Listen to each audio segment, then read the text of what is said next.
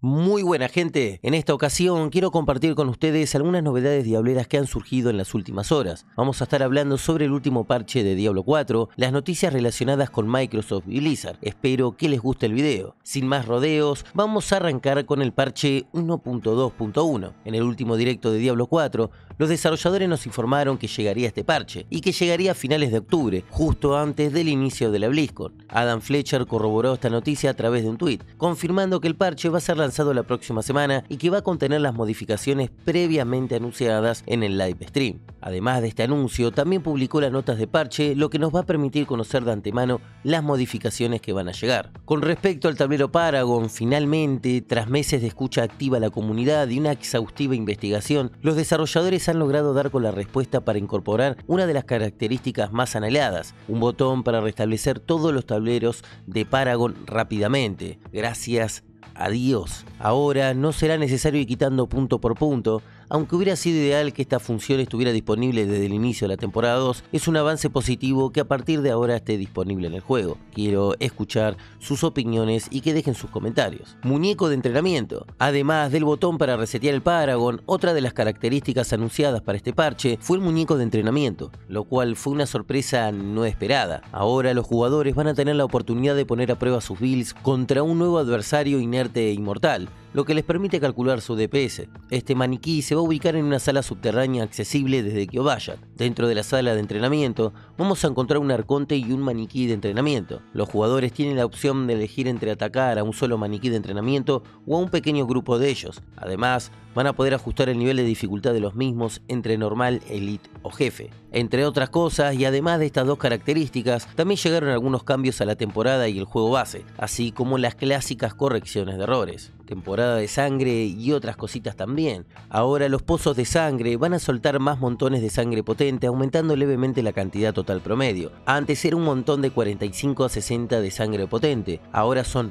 8 montones de 5 a 9 cada una, un total de entre 40 y 72 en total. Además, se ha ampliado la información proporcionada en las descripciones emergentes de los poderes vampíricos para aclarar qué aspectos se van a ver potenciados en el siguiente rango. También se ha incorporado información adicional en la pantalla de mejoras de los poderes vampíricos, detallando la cantidad de pactos requeridos y el costo de activación de cada poder. Adicionalmente, se ha disminuido la zona de búsqueda en los susurros que demandan que el jugador localice y derrote a un monstruo en particular. En lo que respecta a las correcciones de errores, les voy a dejar el enlace a las notas de parche para que puedan revisarla con más detalle y que no quede muy largo el video, así que la voy a dejar en la descripción del video o anclado como primer comentario. PC de Diablo 4 con sangre humana. Blizzard está llevando a cabo una campaña de donación de sangre. En esta iniciativa ofrecen la oportunidad de ganar una impresionante PC gaming de alta gama con temática de Diablo 4. Se ha rumoreado que el sistema de enfriamiento de agua de esta computadora contiene una misteriosa cantidad de sangre humana real, que solo se va a revelar si los jugadores donan una cantidad suficiente de este vital líquido. La campaña, denominada Diablo 4 Blood Harvest,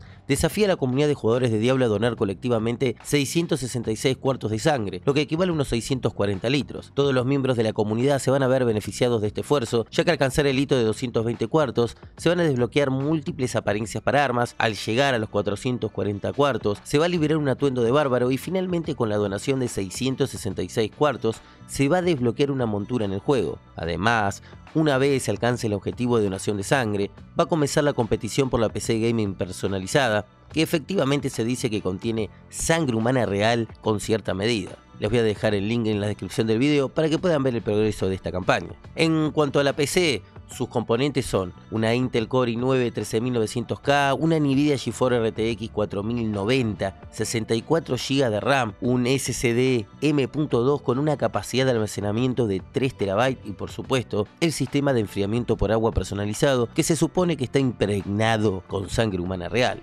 Diablo 4 gratis. No voy a ahondar mucho en este tema, ya que hice un video con esta información, pero recordarles que Blizzard había anunciado que Diablo 4 iba a ofrecer una prueba gratuita en PC del 26 al 30 de octubre, y es importante destacar que esta prueba estaba disponible exclusivamente a través de la plataforma de Battle.net y no era accesible a través de Steam. Acá los jugadores podían jugar hasta nivel 20 y explorar todo el contenido de Diablo 4 permitiéndole jugar en línea con otras plataformas.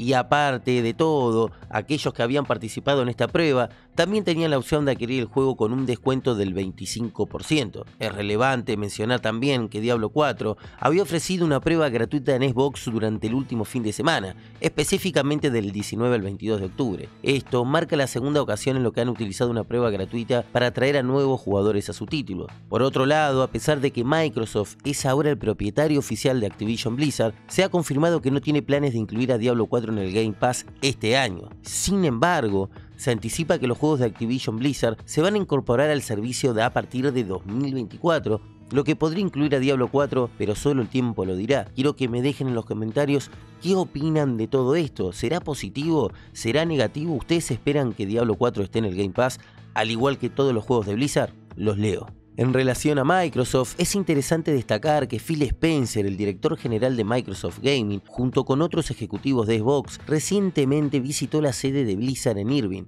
California. En esta visita también estuvo presente Sarah Bond, quien asumió recientemente el cargo de presidenta de Xbox. La reunión entre la nueva dirección y el equipo de Blizzard se desarrolló en un ambiente distendido, con pasteles, globos, numerosas fotografías y conversaciones sobre el futuro conjunto. Durante este encuentro, Phil Spencer aseguró a los diseñadores de juegos de Blizzard que iban a tener la libertad de llevar a cabo todas sus ideas creativas y garantizó un entorno de trabajo cómodo. Si bien el CEO de Blizzard Mike Ibarra y algunos empleados de Activision estuvieron presentes en la reunión, el enfoque principal se centró en Blizzard y su integración en Xbox Game Studios. El infierno llega a Call of Duty. El carnicero llegó a Call of Duty por lo que vemos que se sumó al movimiento de Lilith y Andariel y no quiso ser menos que ellos. Fresh Meat. Aterriza en Almazra o Bondiad en cualquier momento durante el evento de Halloween en la temporada 6. Convoca a un portal a un reino de otro mundo y mata al carnicero para ganar su valioso gancho de carne en Diablo 4. Sí, hay que jugar COD y hacer esto para ganar un premio en Diablo 4. Esto la verdad nunca me gustó de Blizzard de tener que jugar otros juegos y que te dan skins para otros títulos dentro. La verdad que a mí nunca me gustó, pero bueno, van a ganar un gancho y tienen que jugar Call of Duty. La verdad que los jugadores de RPG como nosotros, no sé si vamos a jugar Call of Duty, pero bueno, ahí está gente. La verdad que había gente de la comunidad que estaba bastante, bastante enojada con esto, pero bueno, un premio consuelo. Los pasos para reclamar la recompensa se los voy a dejar acá mismo en pantalla, si van viendo cómo poder ganar ese gancho del carnicero.